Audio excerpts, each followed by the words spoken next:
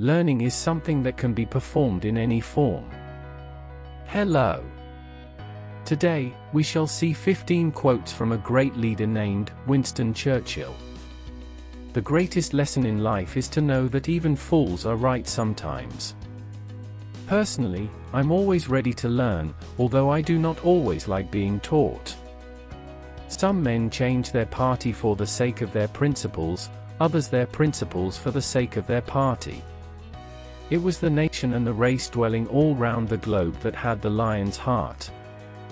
I had the luck to be called upon to give the roar. He has all the virtues I dislike and none of the vices I admire. An appeaser is one who feeds a crocodile, hoping it will eat him last. Eating words has never given me indigestion. Nothing is more costly, nothing is more sterile, than vengeance. Without courage, all other virtues lose their meaning.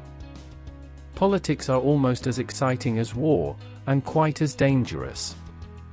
In war you can only be killed once, but in politics many times. We do not covet anything from any nation except their respect. A fanatic is one who can't change his mind and won't change the subject. There is no finer investment for any community than putting milk into babies. It is a mistake to look too far ahead. Only one link in the chain of destiny can be handled at a time.